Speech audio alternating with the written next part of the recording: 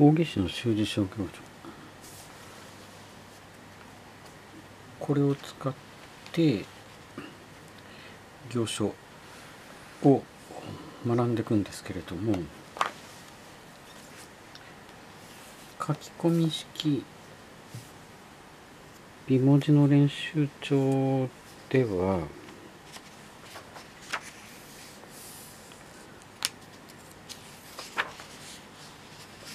まずは4ページ。なんですよね。一口こう白。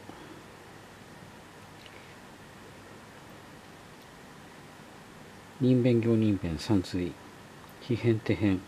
応変奇変乃木変。この辺非変。女変土変。小里変。糸変。というようにこれでもかなり日常は網羅しているんですけれどもまあそれからもう少しねレベルアップしたいなとか出てこない字もやりたいなとか同じ字でもいくつかバリエーションあるなとかいうことでこう見ていくと大木氏のえー、行書のバリエーションが非常に豊富なのでね。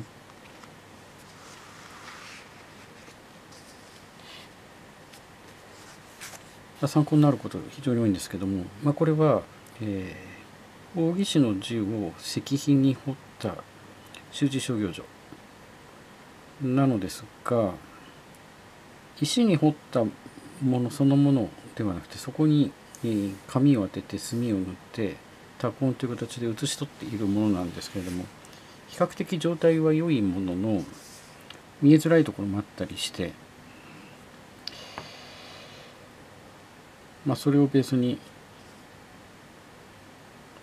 筆ペンで書いてるんですけどもねどこをつなげたらいいのかどこを省略したらいいのかっていう話をずっとしてきてるんですけれども意外と小木氏の字って続けてる部分がそれほど多くないんですよね。ただ結構最短距離で筆が動いている要は長い払いは途中で止めるとか折り返すとか続けるっていうところももちろんあります。でこう見ていくと、えー、人弁の象の字なんですけどもこういったところの省略の仕方は、えー手に入れると使い道は多いと思うんですね。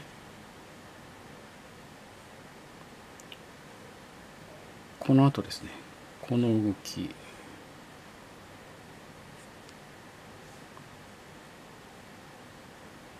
総書になればこれぐるっと回してしまうだけになりますけれども解消のレベルでいけばねこう払うわけですよね。一つ一つ。全部。これを全部先を払わずに止めるないしは返す。ということをすれば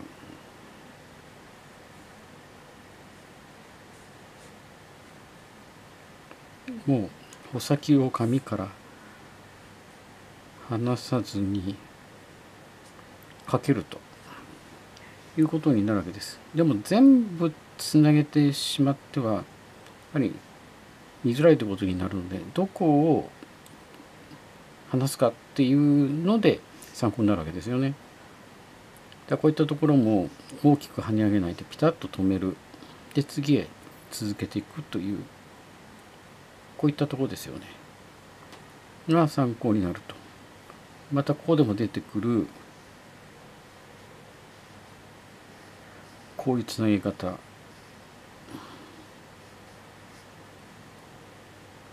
ても早く書けます。で一角省略されています。そういったところもどれだけ省略して OK かなということも参考になります。電池の世界でも例えば書道で作品書くにしても大木氏が書いている書いていないは誤字として扱うかどうか例えば行書で、えー、展覧会で審査通る通らないといった時に大義詞の字って参考になるんですよね。その省略は誤字になるとかその省略は大義詞の主事諸行所にあるので間違った字ではないよというような判断になったりもしますけどね。例えばこの字も書写体なんですよね。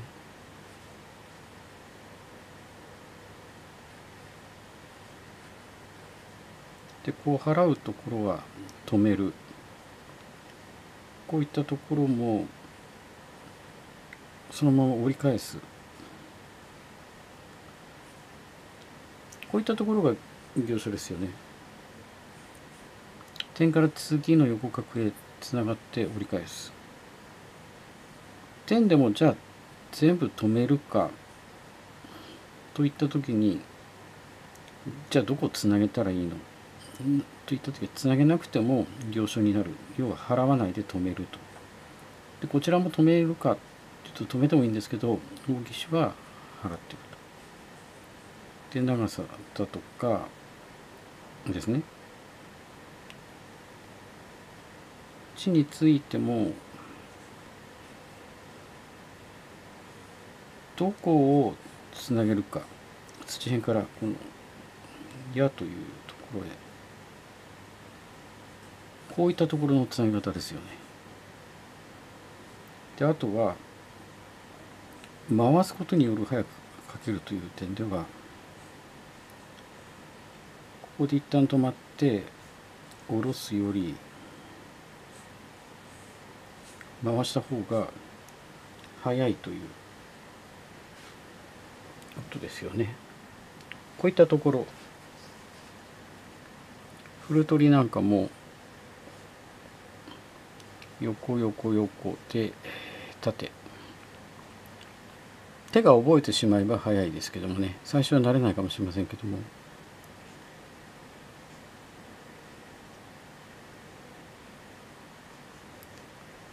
順は一通りではない。ここが文部科学省の書写書き順筆順一つを正解としてしまったというところがね。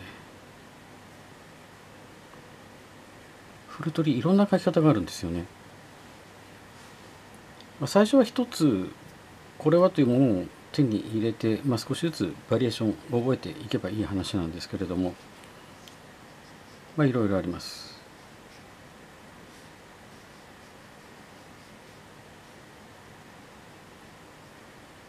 もう様々ですね。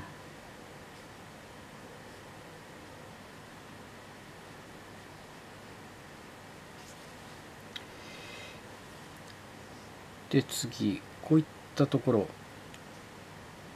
弓についてももう穂先がカビから離れないというようなところとかここもそうですね。こう返す。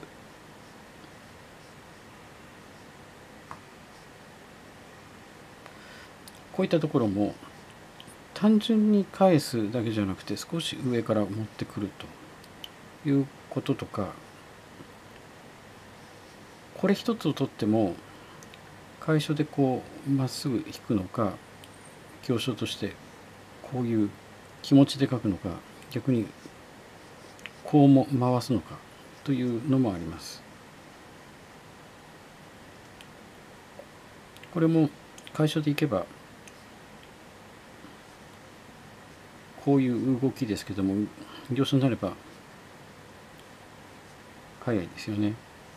でここの中の動きも2本なのか続けて書くのか払うのが点2つなのかここも点4つを1本にしてます。でこれも2つ目3つ目をつなげてます。でここも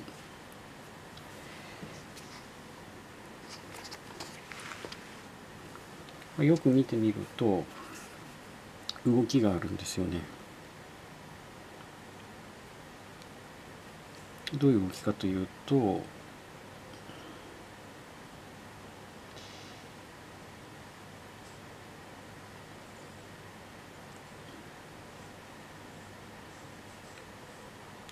こういう動き。でさらには総書になるとこういう羊に変わってきますけれども横からそのまま作りへこうつながってきますけれども、まあ、競争のレベルでいけば横横書いて縦縦ということですけどね。でこういったところも一続きとしてこう回すかどうか。でこれもかなり総書に近いですけれども古いにの分ですよね。でこれが一本につながってで点を打ってこの形。こういった省略の仕方ですよね。つなぎ方。で長く引かないで短く点を打つ。ということ。だからバリエーションとして長さの違い。短く長くというのと。長く短くということ。だからここの形も、えー、大岸バリエーションがあって少し形を変えてたりします。こういった工夫もいろいろありますよね。大きく回して2つにするのかこう持ってきてここ広く開けるのか。この字も、えー、前の動画でやってますけれどもここの省略の仕方これも早く書くには手が慣れると便利ですね。で妨害ここの省略の仕方はここを切って書くのかつなげてこう書くのかさらにはここを折り返すのか点にしてしまうのかまあいろいろありますがよくやるのはこれですね。点にするないしは続けるにしてもこの動きでよく出てくるのはこのカノン化にもありますけどこういう小さい口次へつながるようなこの動きここをきっちり閉じない。ないしは点2つのように書く。ということですね。その次ここは筆順を書いてます。真ん中から行かずに左から順番に行くことによって、まあ、総書の書き順ですけれども早く書ける。真ん中行って左右よりも左から順番に書いてここが早い。でさらにここも大の字の横角をくるっと回すというこういう回す応変でも使いますけれども。こう切って書くよりもここをそのまま続けて丸める。からここも切って書くよりも続けて書く。でさらに止める。またここでもフリード出てきましたけれどもこの形ですよね。で全部横行ってからの縦こういった動き。でさらにはここはもう回す。こういう回すという線。だから心でこういう動き。負もここで折り返して長く引かない。でまた形が出てきて3度繰り2つ目3つ目続ける。で線の字今潜むこれ書くことはあまりないですけれどもこの当時は一生懸命こう書いていましたがこれ続けるときに同じ太さで書かないじゃあどこを太くするか。で2つ並ぶ時にどちらかを太くしてどちらかを細くしてというような変化をつけると。いった時に、まあ、大岸の字っていうのは参考になると思うんですね。で左よく大きく開けて右詰める。これ草冠ですけれども、まあ、ペンチの世界では均等にしましょうという話があってもこの時代の書の世界としては左を大きく構えて右は詰めるということをよくやったりします。長くして右をポンと点を打つだけというようなこととかね。でここも左を長く見せといて右は短く切るとか左長く書いて右は出さない左大きく構えて右は控えめに左の辺は大きく構えて右の作りを小さくする。下を狭くする。上を大きくした小さくをよくやります。そして獣編からの動きなんですけれどもこれは単体でも覚えておくといい。かっこよい。この動きもう曲線で出来上がってる線なんですけれども獣辺をこう書いてさらになおの字ですね。123と。これは手が勝手に動くまで何度も練習して覚えるとどこを強くする細くするどこをつなげるどこを切るというものがこのリズムが手に入れられるといろんなところで使えます。獣編としてこれを覚える。だからこの作りとしてこういう動き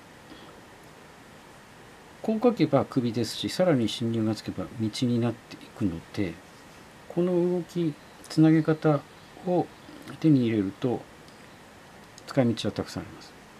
で迷うもこれ縦を後に後に書いているという草書の筆順になってますけれども。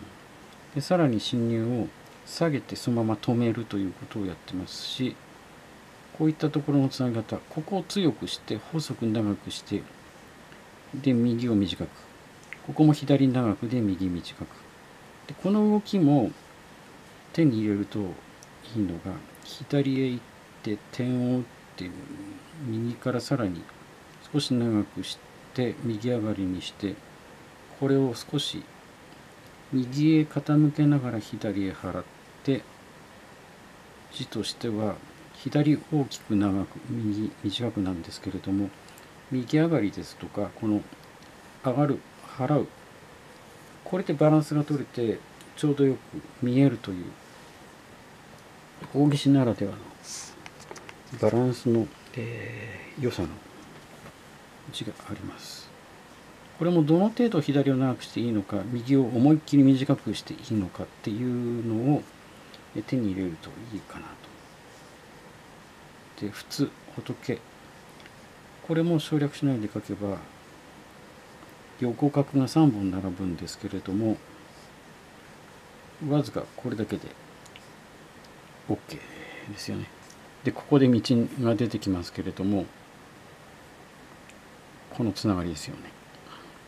で曲線でできてますこの首の部分がね。で侵入がこういう形で構成をしているこれも真下に揃えるんじゃなくて少し右へ入り込んでいくという形で動きがつくこういうのも覚えておくと便利かなと。でこういう線を真下に引かない少し右へ傾けるという動きをつけることとかこれは巨の字の書写体ですけれどもこれもうん現代では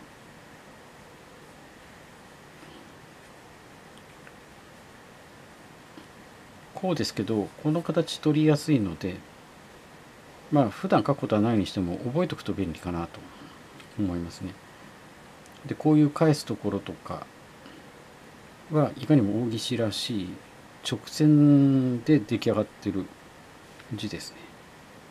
でここも横角がいっぱい並ぶのでやはりこの真ん中を中心にして上を開ける下を狭くするということですね。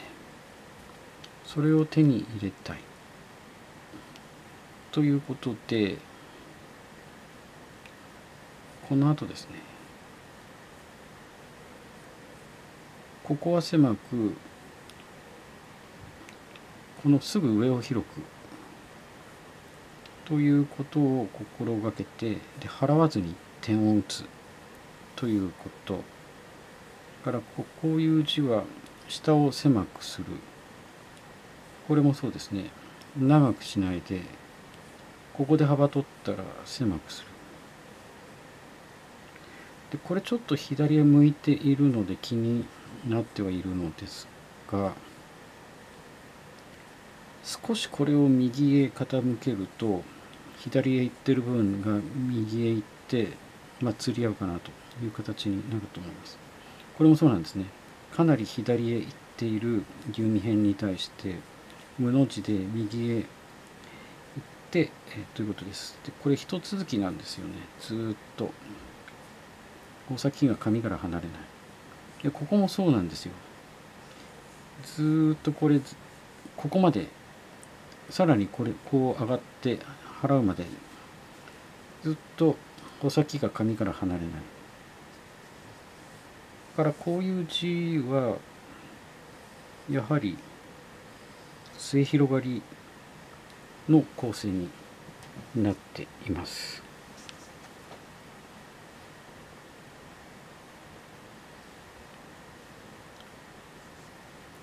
まあ、いろんな字が参考になりますね。どこをつなげたら良いかっていうものがこう見えてくると、えー、やたら続けて読みづらい行書にならないようにするためにどこを切るつけない開けるという工夫で字は見やすくなりますし直線を多用する折り返すという動きで早く書けるようになります今回は以上で次回はその隣のページで、えー、解説をしていきます。ぜひチャンネル登録して続きをご覧ください。